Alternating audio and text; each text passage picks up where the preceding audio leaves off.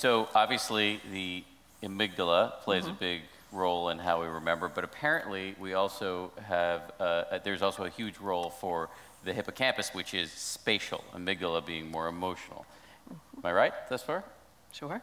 Okay, yeah. that's all I have. So um, and we want to talk about the role of the hippocampus, which is truly fascinating. You might have heard about this recent best-selling book called Moonwalking with Einstein, which talks about people who are uh, specialists in uh, remembering stuff, memory champs they're called. It was written by Joshua Foer, who couldn't be here tonight, but he uh, did tape something for us, which I want to show you, and then we're going to get into the hippocampus. Check it out. the kind folks at the World Science Festival have very generously given me a list of 150 random words that they want me to memorize. And I'm going to do that by using an ancient technique that was invented in the 5th century BC called the memory palace. And the idea is I'm going to create wild, crazy images of the words on this list and tie them to a space in my mind. So the first word on the list is science. So I'm going to imagine right here uh, Albert Einstein sitting on my shoulders and slapping my cheeks. That should be totally memorable. The second word on the list is heart. So I'm actually gonna imagine a gigantic beating bloody heart and I'm gonna just impale it on this sundial. I don't think I'm gonna forget that. All right, so the third word on the list is speech. So I think I'm gonna imagine Colin Firth from The King's Speech uh, stuttering right here. That'll be memorable. The next word on the list is green pepper. So I'm gonna see a rotting, stinking green pepper right here in this bush. Error, university, t-shirt, violence, chicken, nation, football, photo. The final word, which is tool. At this bamboo fence, I'm gonna see a gigantic monkey wrench just embedded in the fence. Whew, that's it. All right, now that I've remembered all these words, I'm gonna go distract myself for a few minutes and then come back and see if I can still remember the list. 3.14159. Wilson, Harding, 6535. Uh, that's as far as I can go.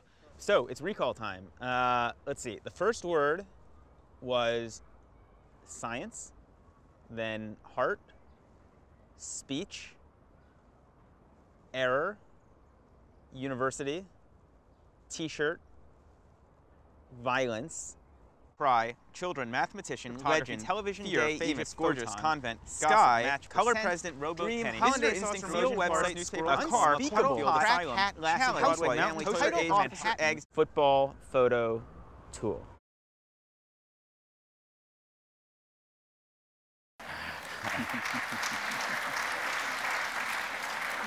Lynn, explain that to us. Sure. So the, the, the, he made a reference to the fact that this had been invented or discovered in the 5th century BC. So the actual story goes like this, and I think, think we have enough time for me to go a little bit off script. We can cheat. Um, so uh, Simonides, who was the Greek p- person who discovered this, was at a party in a big building and was called out. And when he was called out, the entire building collapsed and everybody was demolished. And the survivors were interested in, in identifying who was the remains, so to speak. And he reconstructed who was sitting where by remembering where they were sitting. And it was on the basis of, of his doing that that he understood that remembering things on the basis of spatial location works pretty well. So he then invented this method called the method of loci as a way, as a memory tool. And this, this method was then picked up in the Middle Ages by, uh, by, by rhetoricians and by individuals who, who had to have good memories. It, it, it, and they created memory palaces of the sort that, that, uh, that Joshua just described. And, and they used this as a way of remembering sequences of things, speeches they had to give, oral narratives, and all those things. And, it, and at that time, nobody really understood, you know, why did this work so well? But what came in this century, we had the work that Dan referred to with this patient HM, who had damage to the hippocampus uh, that caused big memory deficits.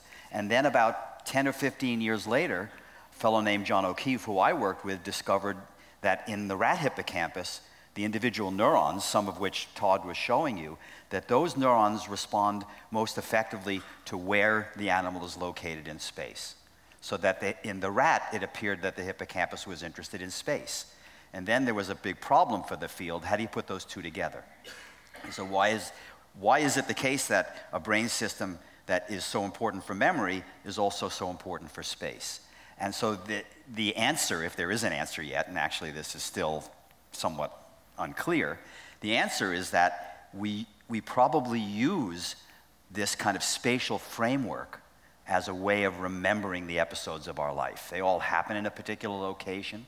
That's why the spatial context was so important in the experiments we did on the reconsolidation that I described before, so that there is some very deep connection between the way we remember things and, we, and the spaces in which those things occur. And we use a spatial scaffold, as it were, to help us remember the events of our life. In the, Josh's book, he sort of posits that we evolved this way because we had to remember the way to the clearing where we killed the mastodon. No, and, no, uh, absolutely. Uh, I mean, so that so our ability to, to sort of I mean, there's, there's a lot of interesting connections here. First of all, being lost in space is a profoundly terrifying thing. We all really want to know where we are. If you come out of the subway and you, you, know, you suddenly don't know where you are, you, it, it's a very anxiety provoking. So, so knowing where you are in space is pretty important, precisely because if you don't know where you are, you may be in danger. So knowing how to get to the safest place, knowing how to get to food, knowing how to find water, knowing where, the, where your mate might be, and so on. All those things are evolutionarily extremely important. And, and the circuits that are crucial for this kind of spatial knowledge that are linked with memory go way back in evolution. I mean, you can trace them back three, 400 million years. So this kind of ability, the, the need to know how to get around in space and how to find your, your way in space is fundamental to, to, for any moving organism. So we'll leave plants out of the equation for the moment. But for animals, it's an absolutely crucial ability. And it somehow got integrated into or became a basis for our ability to remember the episodes of our life in, in a way that turns out to be very effective. And so memory tricksters use it, but, but it's not a trick. It's actually the way the mind and the brain seem to work.